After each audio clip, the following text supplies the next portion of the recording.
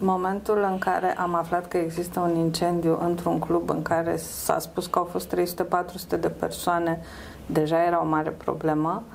Iar în momentul în care am aflat că au fost atâtea decese în uh, incintă, pe loc, uh, era clar că existat și gaze toxice, nu aveam idee de dimensiunea uh, incendiului, uh, dar era clar că este o situație foarte gravă. După care, cam într-o oră, uh, s-a anunțat, cred că era uh, incendiul a fost 22.30, 22.32 cred că era primul telefon la 112. Uh, cred că la 23.20 s-a anunțat că sunt toți răniți internați în spitale și atunci s-a vorbit de 180 de răniți. Deci dimensiunea era impresionantă, coroborat cu decesele de la fața locului.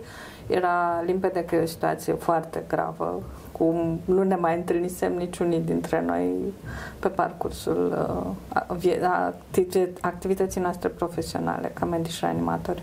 Nu Era cât... halucinant modul în care veneau la camera de gardă pacienții, pentru că nu mai văzuseră în viața lor pacienți cu asemenea arsuri, mulți dintre ei conștienți, dar care uh, uh, erau negri, de funingine de fum cu arsuri întinse, Uh, o fată tânără mi-au povestit că era cu arsuri de gradul 4 aproape carbonizată și încă mai vorbea. A și murit la camera de gardă foarte repede după admisie. Uh, deci toți erau foarte marcați, cadrele medicale, de, de situația de atunci, de faptul că erau oameni foarte tineri, uh, oameni care le-au vorbit foarte frumos până în momentul în care a intrat în comă, deci erau niște lucruri care li s-au întipărit în memorie și în suflet pentru tot restul vieții. Pacienții aceștia erau uh, din start cu niște echipe care nu erau pregătite adecvat pentru a trata uh, după primele 12-24 de ore astfel de urgențe și nu aveau resursele toate de care au nevoie și se mai pune problema mediului steril de care au nevoie mari arși din secunda zero în care intră în spital. Ori se știa că nici acest mediu steril nu poate fi oferit de spațiile de terapie intensivă în care au fost admiși majoritatea. Adică foarte puțini au fost în încăperi individuale și foarte puțini au avut parte de puritatea microbiologică a aerului în acele încăperi, că erau individuale sau colective, de care are nevoie marele ars. Deci astea sunt lucruri pe care echipa medicală le știa din start.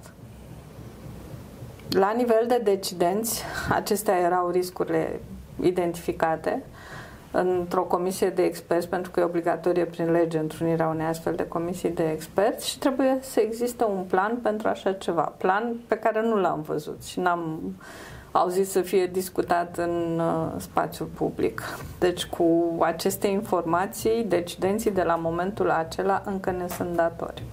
Fiecare uh, oră care trece fără ca pacientul să fie într-un spațiu adecvat, unde nevoile sale de îngrijire specifice nu pot fi uh, corect uh, abordate, uh, scad din șansele pacientului. Din punctul de vedere al pacientului este greu de spus dacă resimte o schimbare în bine sau nu în acest moment, dar pentru cei care au urmărit evoluția uh, lucrurilor în domeniu, Uh, sigur, uh, văd că există pași înainte, mai lenți și mai mici decât ne-am fi dorit, dar există niște uh, progrese și chiar recent, în, în luna aceasta, s-au inaugurat în sfârșit cele două centre pentru mari arși, cel de la Timișoara și cel de la Iași, Uh, niște structuri care evident că nu sunt încă ce ne-am dori, dar reprezintă un pas înainte.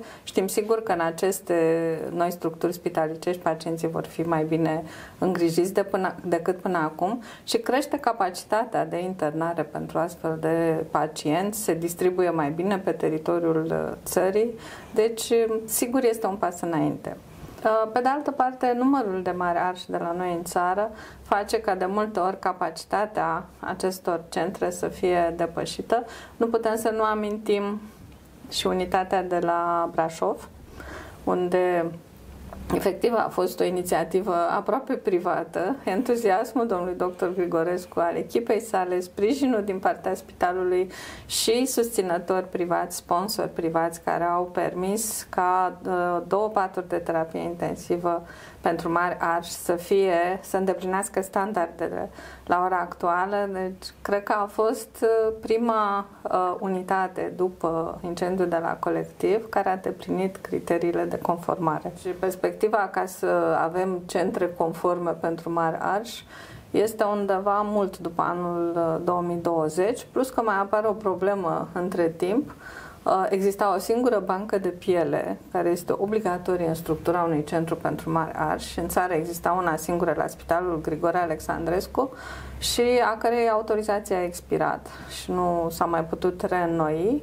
Și în momentul de față nu există nicio bancă de piele în uh, România, uh, o bancă de piele autorizată.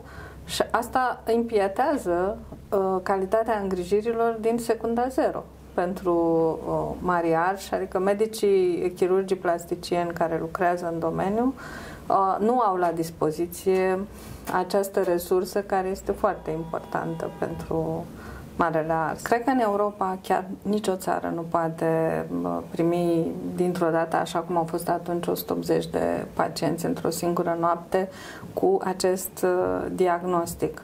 Uh, la noi în țară capacitatea de admisie nu s-a mărit foarte mult, pentru că uh, la spitalul de Arș, unde se conta pe 12 paturi de mari Arș, de fapt erau neconforme, era un simplu postoperator.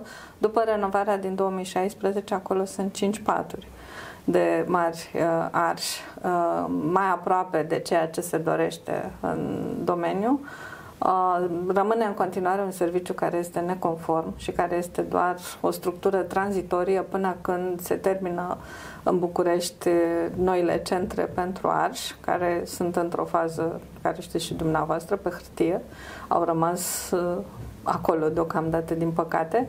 Uh, cele de la Floreasca, iarăși, de să fac 11, cu două paturi la Brașov, sunt 13, Uh, cele cinci de la Timișoara, care nu știu dacă pot să primească toate cinci pacienți în momentul acesta și încă cinci... Doar trei, înțeleg că sunt funcționale și da. vor mai fi încă Și două. încă cinci probabil la Iași. Deci pentru o tragedie cu un număr mare de victime, uh, evident că se pune problema transferului rapid în structuri din străinătate care pot să le asigure cât mai repede standardul de îngrijiri de care au nevoie.